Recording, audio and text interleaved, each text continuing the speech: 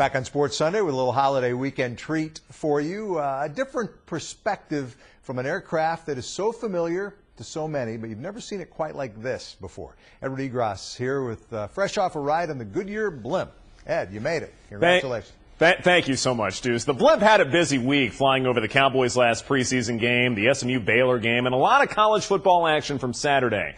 It's a quieter day in sports today, so this morning I took a ride in the Blimp, and it was something I won't soon forget.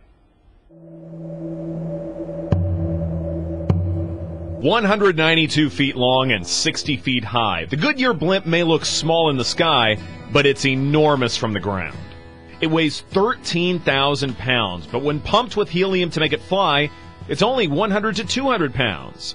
Passengers ride in a gondola that's no bigger than a mid-sized car. Once boarded, the crew does one more pass through, then we're up in the air.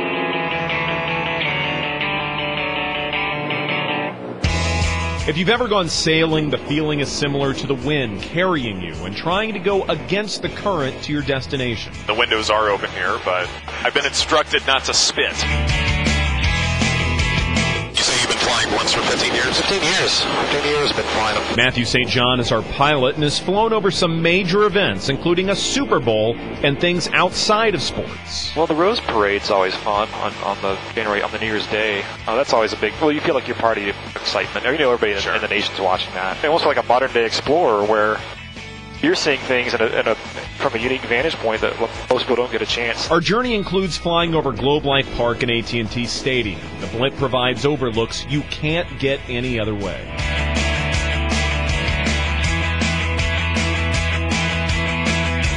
Unless it's really windy, like if it's a day like today, you'll see us doing orbits around the stadium just to maintain control. The hazy conditions mean we don't have the best views of the Dallas skyline, but the water and trees below are still breathtaking. 350, 4,000 feet, Wilco, Southwest 4374. The Goodyear blimp has had no major disasters. In fact, St. John said his most dangerous moments on the job haven't involved being in the air. Safety is our primary concern. If, if, if I'm telling you we should probably keep it on the mast for the day. Sometimes people just don't understand that, you know, like.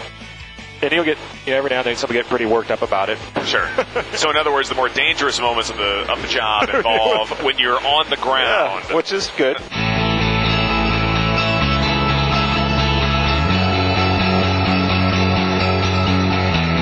After more than an hour traveling at roughly 35 miles per hour. So we're going to land here soon. Everybody just stay seated. 14 people are needed to wrangle the blimp as we try to land. Be really careful. If you're going too fast, the crew will not grab you. They'll tell you to go around and do it again. If you come in too slow, you might get a wind shift and it'll take you off course, and the crew might wave you off and tell you to do it again. So it's it's an excellent school for patience. St. John is a pro, needing only one attempt to land safely.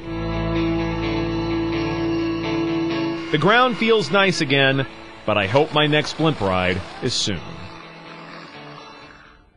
Now, Goodyear is retiring the blimp, but not airships. A new version will be above your favorite sporting events, though technically it's not a blimp because there's a fixed structure inside. Now, another way technology is caught up to the blimp is with digital lights showing words across the side. Now, I asked if during my ride if it could read Edward Egros is the greatest sportscaster in the world, but they declined. Deuce? They would have allowed second best, I think, Ed. Uh, th- thanks very much. Uh, good stuff there with the Goodyear blimp. Appreciate it.